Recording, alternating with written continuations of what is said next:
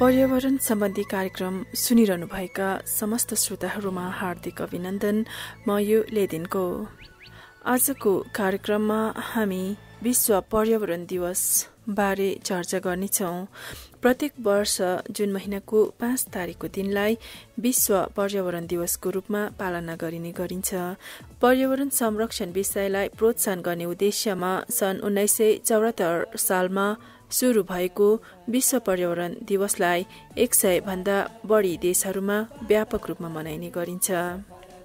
Plastic प्रदूषणलाई हटाउ भन्ने मूल नाराका साथ यसपालि सन् दुई हजार अठार सालको विश्व पर्यावरण दिवस सम्पन्न भयो।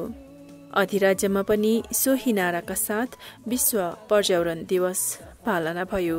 विश्व पर्यावरण दिवसको महत्वबारे प्रकाश पार्दै थिम्पू स्थित जिग्मेल असेल प्राथमिक पाठशालाकी प्राध्यापिका चोकी टुक्पा भन्नुहुन्छ। पर्यावरण किन महत्वपूर्ण छ के भनेको चाहिँ अब जता हो भने हाम्रो देशमा हो भने अन्त पाठशालामा हो भने हामीलाई त्यो चाहिँ याद गरेन भने चाहिँ अब देशको लागि चाहिँ सब भन्दा हामीलाई चाहिनेको चाहिँ त्यो रहेछ। अन्त बेसीजनालाई त्यो कति महत्त्वपूर्ण छ कि थाहा नभएर अन्त रुखहरू काटेर लगाउने छैन त्यहाँदेखि बस्ने जग्गामा पनि सबै बिल्डिङहरू बनाएर अन्त रुखहरू चाहिँ कहिले देख्ने छैन भने चाहिँ हाम्रो देश चाहिँ त्यो रुख बिना हामी बस्नु सक्दैन। अन्त रुख छ भने चाहिँ कति राम्रो हुन्छ त्यो हामी सबैले थाहा हुनुपर्ने हो भनेर सम्झिँदैछ। प्रत्येक वर्ष जुन महिनाको पाँच तारिकको दिनलाई चाहिँ अधिराज्यमा साथसाथै विश्वमा नै पर्यावरण दिवसको रूपमा पालना गर्ने गरिन्छ। यो दिवसबारे तपाईँलाई केही जानकारी छ भने हामीसित बाँडचुट गर्न चाहनुहुन्छ? अब मैले सम्झेको जस्तो हो भने चाहिँ अब पर्यावरण राम्रो राख्नुको लागि पर्यावरणको दिन राख्दो रहेछ नि। अब यो दिन हाम्रो देशमा जस्तो दिन राखेन भने चाहिँ खालि उकालेर काटेर त्यहाँदेखि रुख रोप्नेको चाहिँ याद नै हुँदैन होला। हामी सबै के याद गर्नुपर्छ भने चाहिँ सबैले रुख अन्त फुलहरू। अब कति जग्गामा त्यो पर्यावरणलाई महत्व नराखेर काटेर सबै कस्तो दुःख हुँदैछ? खानु नपाएर पानी सुकेर कस्तो दुःख हुँदैछ?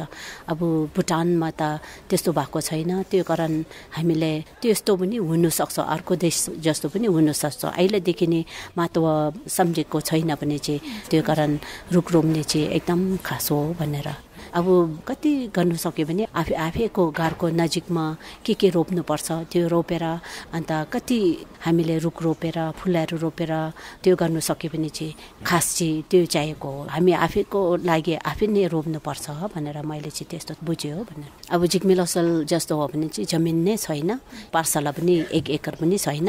तर पनि अलिकति जग्गा छ भने चाहिँ त्यहाँ फुल रोपेर रुखहरू रोपेर जग्गा अलिकति पुगेको छ भने सबैमा अब पाठशालामा भित्र पोस्नेको छाउमा पनि अलिकति जग्गा छ भने सबैले फुल रोपेर रुख रोपेर कस्तो राम्रो बनाएर राख्दाखेरि बाहिरको मान्छेहरू आउँदाखेरि यहाँ त कस्तो शीतल रहेछौ कस्तो राम्रो देख्दो रहेछौ कति मन पनि कस्तो मजाको यस्तो हुँदैछ हामीलाई भनेर यस्तो गर्दाखेरि चाहिँ सबैको घरमा पनि त्यस्तै हुनुपर्छ भनेर मैले यस्तो सम्झिँदैछ।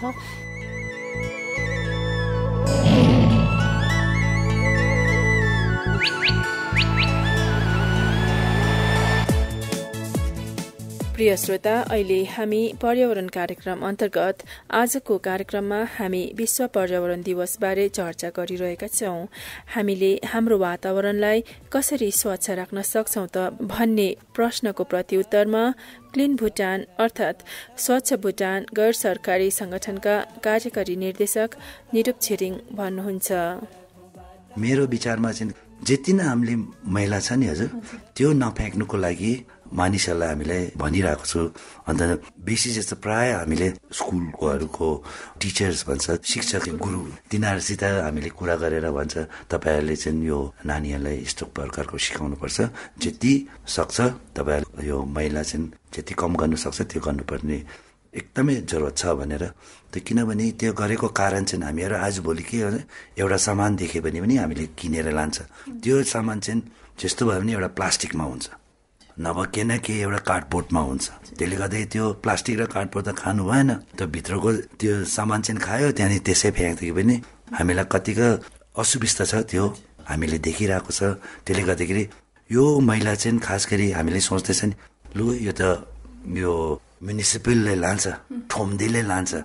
उनीहरूले लाँदाखेरि पनि एउटा फ्याँक्ने जग्गा हुन्छ नि हजुर। त्यो फ्याँक्ने जग्गा चाहिँ हामीले विशेष गरेर कुरा गर्दाखेरि चाहिँ हरेक जग्गामा एक दुईवटा रहेछ हजुर त्यसले गर्दाखेरि हाम्रो वातावरणलाई कति नै यो तकलिफ हुन्छ वातावरणलाई त्यस्तो तकलिफ मतलब अब हामीले पानी फ्याँकेको त्यो पानी मैला फ्याँकेको जग्गामा पानी पर्छ घाम लाग्छ हिउँ चढ्छ त्यो पहाडी पहाडीमा हामीले राखेको छ हजुर। त्यो चाहिँ पानीमा जाँदो रहेछ अन्त त्यो हाम्रो पानी चाहिँ एकदमै मैलाले पुरा बिगार्दो रहेछ। पिउनु त एउटै कुरा छोड्नुहोस् न। त्यो लुगा पनि धुनु नखुवाने पानी निक्लिँदो रहेछ भन्नु। यो हामीले एकदमै सोच सम्झेर गर्नुपर्ने छ। मैला चाहिँ जति नै भयो भने कम्ती गर्नुपर्छ। किनभने हाम्रो यो मैला चाहिँ अब हामीले फ्याँक्छ। फ्याँकेपछि पानीमा जान्छ नालीमा पस्छ। त्यो नाली पानीमा पसेर कता कता यो हुन्छ त्यसले गर्दा हाम्रो जिउहरूमा नै बिमारी हुने बिमारी फैल्नेको त्यो पनि डर छ। किनभने अब यो प्लास्टिकबाट के के त्यो रङहरू लगाएको के होला हामीलाई थाहा छैन। त्योहरू अब दस पच्चिस सालको पछि त त्यो पानीहरू पनि सबै त्यसले नै बिगार्न सक्छ। त्यसले बिगाऱ्यो भने पानी हुँदैन। पानी नहुँदा हाम्रो जिउहरू कतिको सन्चो रहन्छ। त्यो पनि त कुनै मानिसलाई सोध्यो भने त्यही अब पानी नै चाहेको हो पानी नहुँदाखेरि। अन्त यो पानी चाहिँ हामीले मैला यताउता फ्याँक्न थाल्यो भने त मैला हुन्छ। त्यो मात्रै होइन हजुर। आफ्नो अङ्गानमा चाहिँ सफा राख्यो। अब अङ्गानको बाहिर चाहिँ सफा नराख्दाखेरि भने कति नराम्रो देख्छ। त्यहाँबाट झिँगाहरू पनि निक्लिन्छ। त्यहाँदेखि बिमारी कस्तो कस्तो खालको फलिन्छ हजुर। त्यो झिँगाहरू हुन्छ।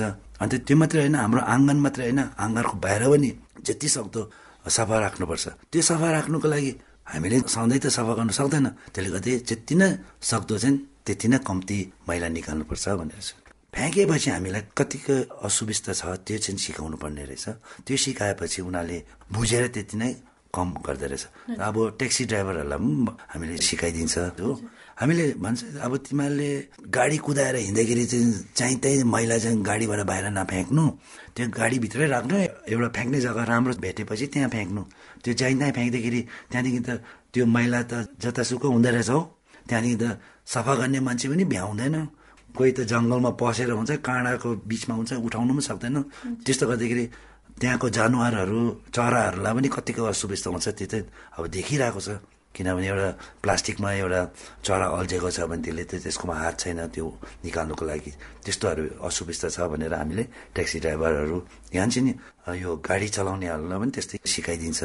हरेक जङ्गकमा सबैजनाले मिलजुल गरेर क्लिनअप क्याम्पेन भनेर गर्दै रहेछ।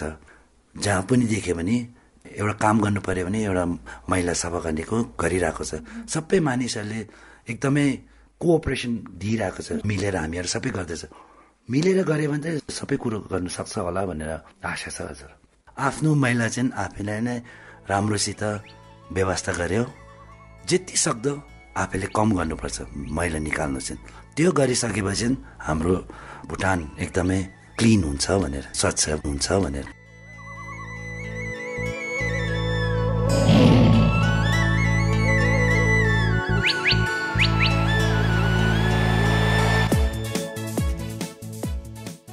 यस्तै पर्यावरण दिवसबारे हामीले दागना जोङखाका अन्तर्गत कर्मलिङ गियोगका गप ज्ञान बहादुर सुब्बासित पनि टेलिफोन मार्फत अन्तर्वार्ता गरेका छौं। गियोगमा पर्यावरण विषयलाई लिएर के कस्ता विषयलाई चाहिँ जोड दिने गर्नुहुन्छ त? रुखपातको विषयमा लिएर चाहिँ हामीले यही पब्लिकलाई सुझाउ हामी जतै मिटिङमा जाँदा पनि पब्लिक ग्यादरिङ हुँदाखेरि पनि हामीले अब यो नै हामी गर्दैछौँ रुखपात लाई त्यति पहिले जस्तो प्रशस्त हामी काट्नु दिएको छैन। जतिजनाले काटेको भए पनि आफैले बार बिरुवा किनेर आफ्नो जमिनको आँख छेउछेउमा हामी लाउँदै लाउने गरेको छौँ। त यहाँको विचारमा रुखपात रोप्नु चाहिँ किन जरुरी छ जस्तो लाग्छ? अब रुखपात रोप्नु पर्ने हामीले जरुरी देखेको चाहिँ किनकि हाम्रो अब देश नै अब एभरग्रिन भुटान हो।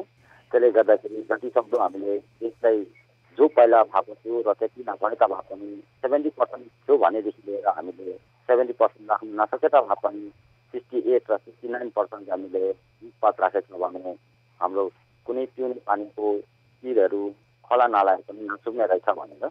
हाम्रो देशमा जुन महिनाको पाँच तारिकलाई चाहिँ विश्व पर्यावरण दिवसको रूपमा पालना गरिने गरिन्छ। त यो दिवससित मिलाई योगमा कुनै कार्यक्रमहरू भएको थियो कि? सालमा हामी गर्दैछौँ। कोही खेर हाम्रो पाँच वर्षमा रोटेसन गरेर हामी जाँदैछौँ। कोही खेर अब हामी पिउने पानीको सिटतिर कोही खेर हाम्रो इरिगेसनको च्यानलको सिटतिर त्यस्तोमा गएर हामी रुखपातहरू हामी रोप्दैछौँ हामीले हामी कर्मालिङमा माथि लाप्चाखा भन्ने जग्गामा गयो हामीले त्यहाँनिर रुखपातहरू अलिअलि रोपिराख्यौँ रुखपात भन्नाले के के रुख बिरुवाहरू रोप्नुभयो होला नि? हामीले बेसी पनि लिप लिप भनेर रोप्यौँ। निम्बाराको गाछहरू बोडारको गाछहरू त्यहाँदेखि लिएर पोलाहरू हामीले यति तिन किसिमको रुखपातहरू रोप्यौँ रुखपात रोप्नुको महत्त्वबारे सबै रेडियो सुनिरहनु भएका श्रोताहरूलाई तपाईँ छोटो जानकारी दिन चाहनुहुन्छ कि? अब हामीले रुखपात रोपेको कारणले किनकि जति हामीले रुखपात रोप्यौँ हाम्रो जग्गाहरू पनि रमाइलो देख्ने त्यो हामीले रुखहरू पवित्र के छ भने हाम्रो पिउने पानीको शिरहरू नसुक्ने अन्त कुलोको शिरहरू नसुक्ने गरेर हामीले त्यस कारणले हामीले रोपेको हौँ। अब हामीले रोप्नै पर्ने कारण चाहिँ किनकि पहिले त अब यति साह्रो गर्मी थिएन। जताततै रुखपात आफै उम्रिने गर्थ्यो।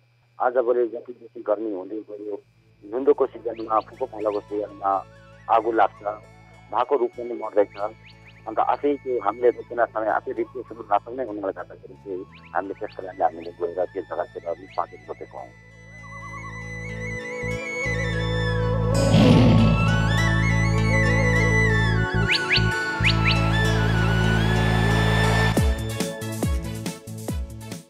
यतिन्जेलसम्म हामी प्रस्तुत गर्दथ्यौं पर्यावरण कार्यक्रम अन्तर्गत। आजको कार्यक्रममा हामी पर्यावरण दिवस बारे चर्चा गर्दैथ्यौं। हस्तप्रिय श्रोता आजको हाम्रो यो पर्यावरण कार्यक्रम यतिमै समाप्त हुन्छ।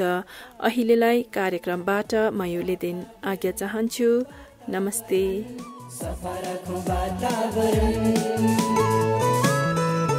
जथाभावी नफालौँ सभ्यताको पहिचान दिउँ वातावरण वातावरण सफाराको